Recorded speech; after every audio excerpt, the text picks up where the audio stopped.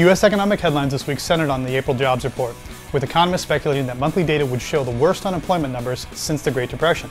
Not surprising, the Bureau of Labor and Statistics announced Friday that unemployment had swelled to 15% in April. While these numbers are staggering, the figures did come in well below many expert estimates, underscoring the fact that as our economy reopens, the rate of joblessness continues to fall. Despite slowly lifting restrictions, many dealers reported record sales in April and growing demand in May. While retail sales figures for the month continue to trickle in, there are three key indicators that confirm the feedback we've been gathering from dealers. Number one, e-commerce leads, which are generated and tracked through a number of channels, saw unprecedented spikes in recent weeks. Despite the inability to host rides, demo days, or events, consumers are continuing to connect and engage with dealers through various virtual channels, a trend we expect to continue. Number two, IHS, a company that tracks vehicle registration data, reported three consecutive weeks of double-digit registration growth, despite the fact that many DMVs remain closed or are limited to online services. Number three, many commercial lending companies, the banks who finance dealership inventory, are reporting year-over-year declines in wholesale volume, aging, and utilization meaning many dealers have less inventory on the books today than they did in 2019. All three factors point to a surging retail sales interest and demand, while vehicle supply continues to be a major issue.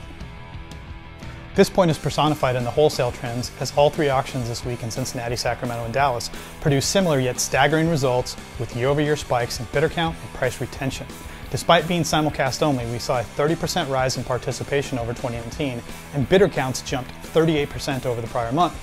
With competition for product growing, prices also continued their upward ascent, hitting an 18 month high in price to book retention and setting another record in the weekly Comp 60 comparison metric.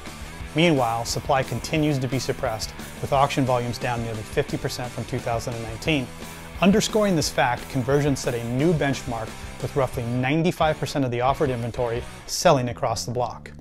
While we've seen positive signals that the inventory will return, we expect continued supply shortages to fuel demand into the coming weeks. With this week's auctions in Philadelphia, Madison, and Atlanta, buyers can expect to see more of the same. Additionally, we'll be holding our first auction in our new Denver facility on Thursday, May 21st at 9 a.m. We encourage you to log into the website, download the NPA app, or reach out to your sales rep for more information. As always, we hope you found this video useful. If you have any additional questions or in search of more specific data, please click, comment, and connect with us through the various information listed on your screen. From the entire team here at NPA, we want to say thank you for your business. We hope you stay safe and healthy. And we want to remind you, we'll be back here again next week for another update. Cheers.